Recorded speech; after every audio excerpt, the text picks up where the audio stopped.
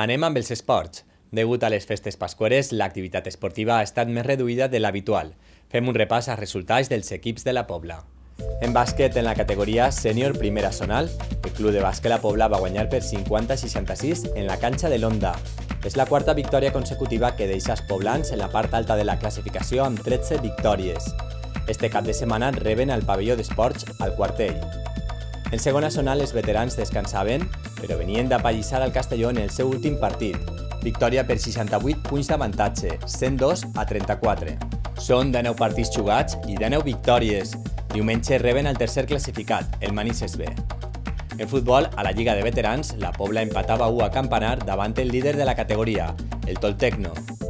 Després de 26 jornades, els homes de Jaume Navarro són 600 a només dos punts de la zona d'ascens. Este cap de setmana s'enfrontaran al Mas de Tous al Bar Toribio. En tenis taula, inesperada victòria de la Pobla a la categoria superautonòmica davant el millor de la fase de la permanència, l'Alcoi. Manu i Víctor sumaven dos punts cadascú i s'aconseguia la victòria per 2 a 4. En primera autonòmica, derrota davant l'Onda per 4 a 2. Els dos Puigdarom van ser insuficients per tal de sorprendre al segon classificat.